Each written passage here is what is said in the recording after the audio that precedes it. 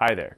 My name is Michael Maddux, and I am asking for your support and trust to represent the people and small businesses of District 4 in the Seattle City Council.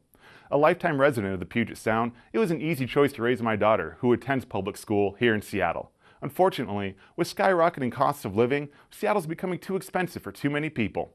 The only renter on the ballot this fall, I feel this pinch and will work tirelessly to address the affordability crisis while protecting the livability and natural environment that makes our region so fantastic. In addition, I will join with elected officials to address our regressive tax structure, coming prepared with ideas to implement that will ensure more equitable revenue options are explored for our needs, moving away from relying solely on regressive property and sales taxes and flat fees.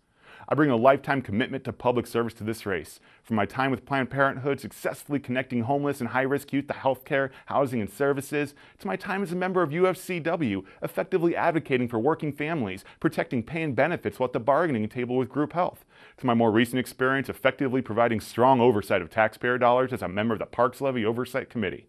Additionally, as the only openly gay candidate on the ballot this November, I will continue to ensure that the LGBTQ community retains a strong voice on our City Council. My promise to you I will be your advocate for safe, walkable communities. I'll be your advocate for meaningful revenue reform. I'll be your advocate for smart infrastructure investment.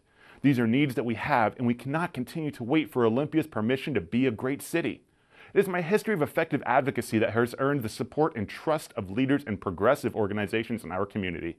Speaker Frank Chopp, Sharon Lee of the Low Income Housing Institute, Representatives Gerry Pollet and Brady Walkinshaw, Cheryl Stumbo, labor unions, the Transit Riders Union, Sheriff John Urquhart, the Democratic Party, the Stranger, NARAL Pro Choice Washington, Equal Rights Washington, and many others. I would be honored to have your support as well and ask for your vote. Check out my website for more information at michaelmaddux.com. Thank you for your consideration.